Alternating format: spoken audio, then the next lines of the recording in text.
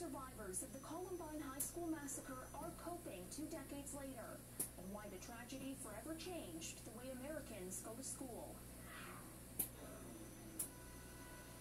Good evening. Startling allegations being made against an Uber driver tonight, and not one but two separate sexual assault allegations here in the GTA. And what's worse, Toronto police say the accused who has been arrested wasn't supposed to be driving these two women, and they say there could be with sexual assaults.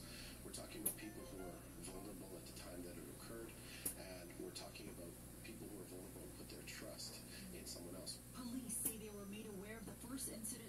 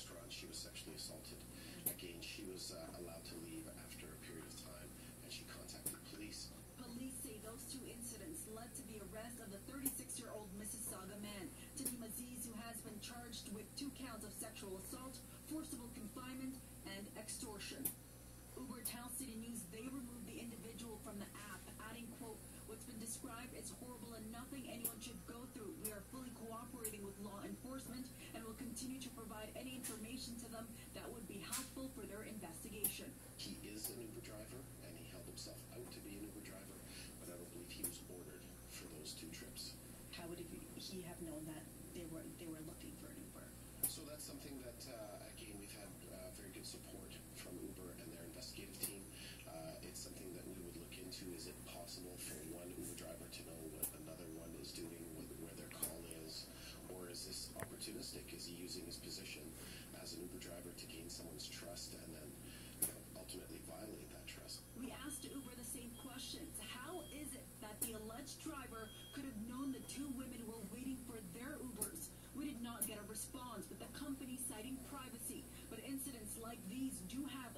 Sharing patrons concerned.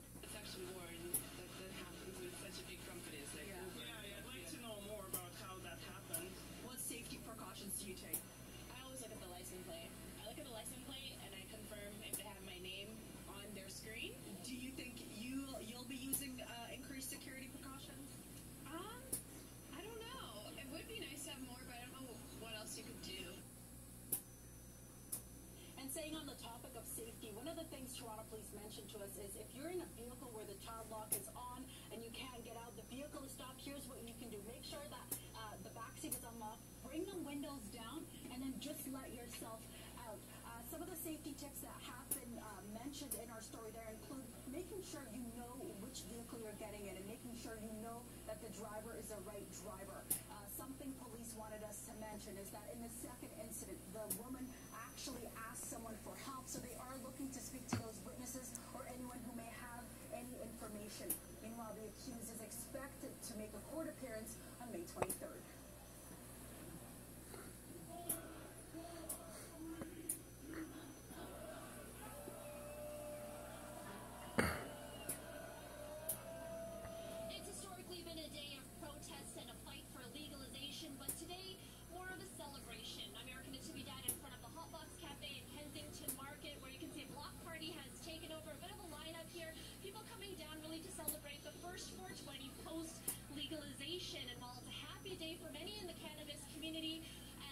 something that they fought hard to make happen.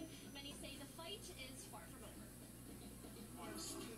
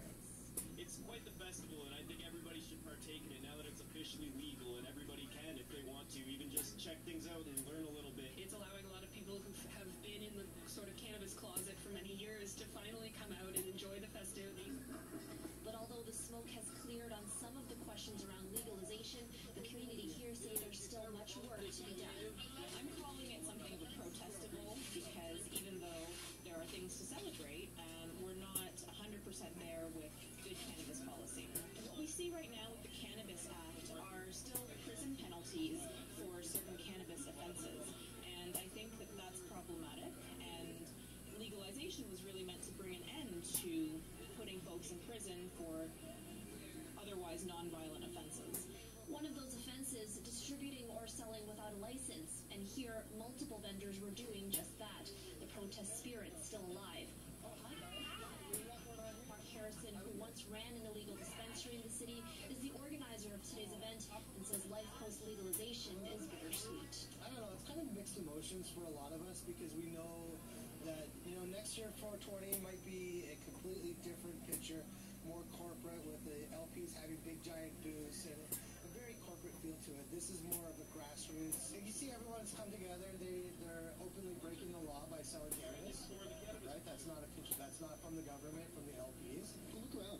There's a ton of people here, right? They can allow a lot of these people into the industry who know what they're doing. They would pay taxes. You know what I mean? They could charge us. Everybody would be willing to pay, but they don't even want to do that. I think that events like this, where you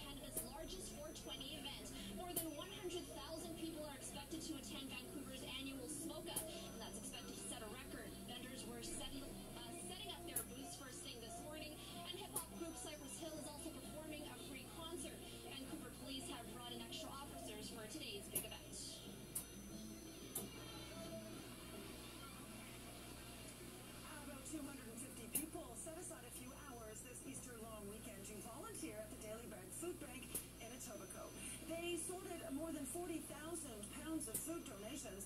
All of that food is distributed to thousands of families in need across the GTA.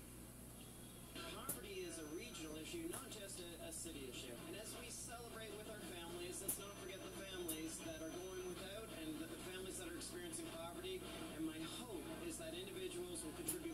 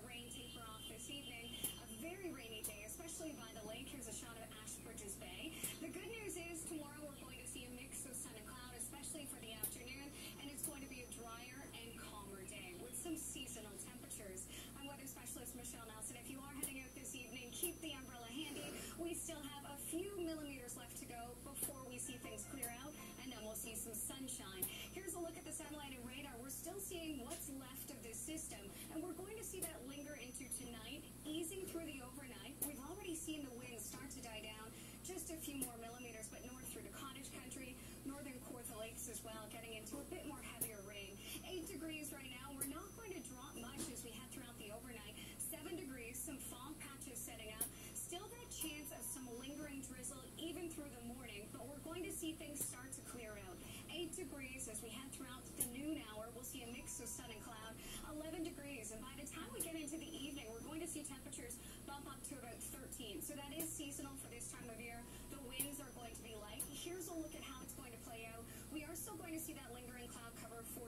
so mainly cloudy, just the chance of some drizzle early in the day, and then we'll see a mix of sun and cloud. Temperatures are going to rise. We could see daytime highs of 16, but closer to the lakeshore for downtown, we're looking at a daytime high of about 13 degrees for tomorrow, and then we'll see some sunshine push in for your Monday as well with some dry conditions. So overall,